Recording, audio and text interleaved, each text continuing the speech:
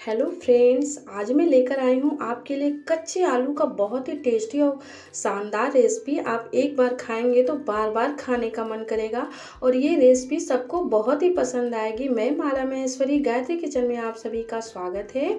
तो मैंने दो ये कच्चे आलू लिए हैं, इसके छिलके मैं निकाल ली हूँ और एक बाउल में इसे इस तरीके से कद्दूकस कर लेना है। इस तरीके से तो ये देखिए, मैंने आलू को इस तरीके से लंबे लंबे कद्दूकस कर लिए हैं। इस तरीके से देखिए, दोनों मैंने आलू को कद्दूकस कर लिया है और इसको अच्छे से इसका पानी निकाल दिया है आलू का। तो ये पानी अब फेंकिएगा नहीं, पौधों में डाल दीजिएगा।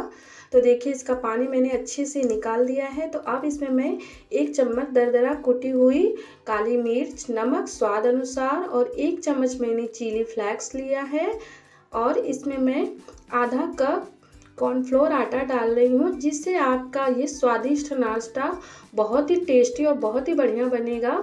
तो इसे अच्छे से मिक्स कर लेते हैं। आप पानी बिल्कुल मत डालिएगा, क्योंकि ये आलू है तो पानी थोड़ा बहुत तो छोड़ेगा ही। तो ये देखिए, इस तरीके से हाथों से, इस तरीके से गोल गोल बना के, इस तरीके से ये देखिए, बन गया झटपट। इस तरीके से मैंने सारे आलू का नाश्ता ये बना लिया है और गैस पे मैंने तेल रख दिया है। तेल अच्छे से गर्म हो गया है। तेल को मैंने मीडियम पे ही रखा है।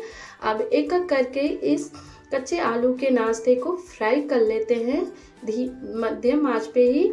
तो इस तरीके से मैंने थोड़ा सा इसे चम्मच से इस तरीके से कर लेते हैं जिससे ताकि एक में चिपके ना और ये आसानी से हो जाए।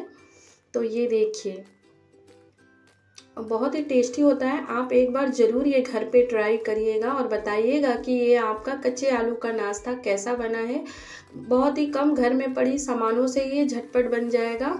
अगर आपके पास कॉर्नफ्लोर आटा नहीं है तो आप चावल का आटा भी डाल सकते हैं। तो टेस्टी बनेगा। तो ये देखिए, अब ये झटपट बन गया है। अब मैं इसे निकाल लेती हूँ इस तरीके से।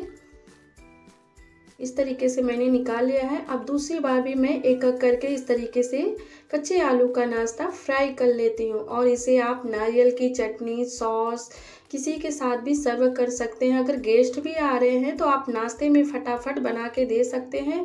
तो ये देखिए कच्चे आलू का नाश्ता बन के तैयार हो गया। देखने में तो बहुत ही सुंदर लग रहा है। खाने में तो पूछिए मत। तो मैंने इसके साथ नारियल की चटनी और सॉस रखी हूँ। तो मैं आपको दिखाती हूँ। तो ये देखिए, एक बार ये ज़रूर से ज़रूर कच्चे आलू का नाश्ता बनाइएगा। अगर मेरी वीडियो पसंद आ रही है तो लाइक करिएगा, शेयर करिएगा और चैनल को subscribe. Thank you for watching.